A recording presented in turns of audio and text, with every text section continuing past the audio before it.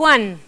Desde las 10.45 se ponen en marcha los compromisos, en este caso, en primera instancia lo va a hacer Juan Martín del Potro, con un historial, eh, bueno, abajo de lo que puede ser eh, algo positivo, 3-1 a favor del checo, eh, de Radek Stepanek. este es el primer compromiso en el segundo. Tomás Verdich lo va a hacer ante Pico Mónaco. Verdich aventaja a Pico el tandilense 5-0. Bueno, realmente es para ser optimista en cuanto a que se pueda revertir estas dos series negativas, teniendo en cuenta los movimientos y los rendimientos fundamentalmente que han tenido Juan Martín del Potro y Pico Mónaco en estas dos últimas temporadas. Tiempo de Copa Davis que comienza en el día de hoy.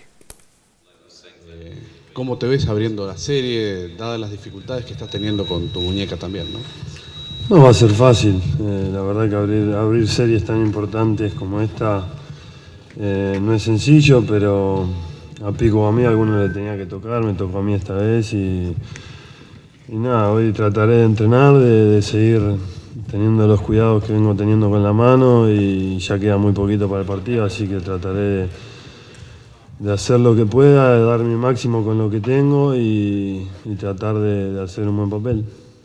Llego confiado, eh, ya hace una semana que estamos entrando bastante duro, eh, me motiva muchísimo eh, el saber que puedo jugar un nuevo partido de Copa Davis, una instancia muy importante.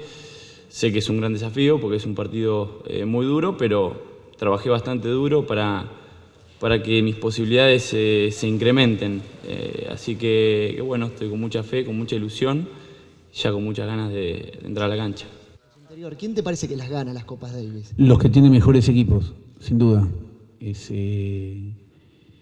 si te fijas en los últimos años, la han ganado los mejores equipos y nosotros hemos estado dentro de esos mejores equipos.